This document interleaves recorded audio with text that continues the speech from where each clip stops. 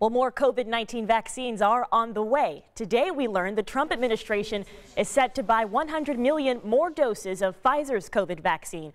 The company will deliver at least 70 million doses by the end of June. The remaining doses will be delivered no later than July 31st. Including this latest deal, the federal government has now bought a total of 200 million doses of Pfizer vaccine for $4 billion. New tonight, President Trump has vetoed the annual defense policy bill. He offered several reasons for the veto, including a demand for lawmakers to put limits on social media companies he claims are biased against him.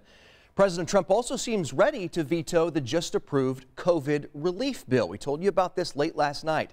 As Alice Barr explains, the president wants lawmakers to rework the bill and put more money in stimulus checks promised to many Americans.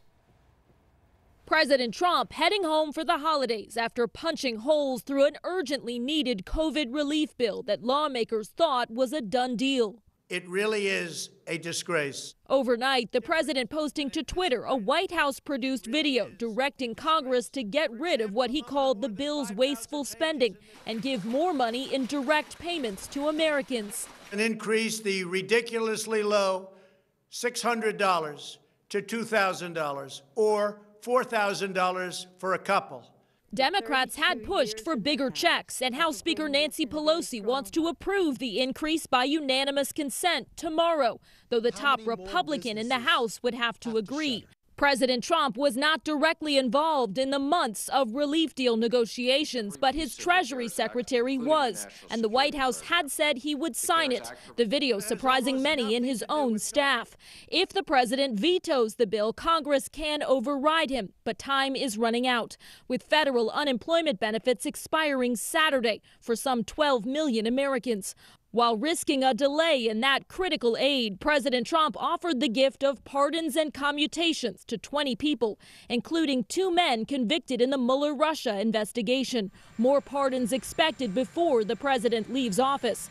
President elect Joe Biden continuing to build out his cabinet, today introducing his pick for Education Secretary, Connecticut Schools Chief Dr. Miguel Cardona, while promising to safely reopen a majority of schools in his first 100 days in office. In Washington, Alice Barr, NBC News. Well, today, Governor Holcomb signed an executive order renewing some directives to help in the state's coronavirus response. That order extends temporary licensing for healthcare workers not currently licensed in Indiana. It also gives certain paramedics, EMTs, and National Guard members permission to administer the COVID-19 vaccine, and it offers more help for those seeking unemployment, making it easier to hire temporary workers to help with claims. The governor's executive order comes just as thousands more Hoosiers test positive for the coronavirus.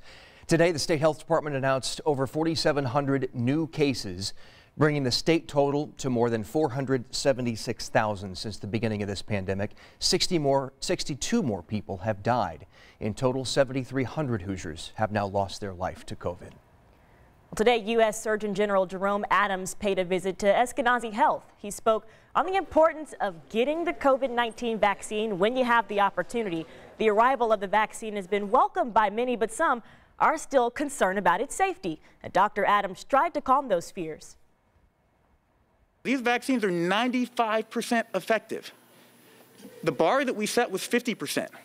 They're 95% effective. So you are truly, truly denying yourself an opportunity to give yourself almost 100% protection from this virus if you choose not to get vaccinated. And Dr. Adams also took part in two roundtable discussions as part of his visit.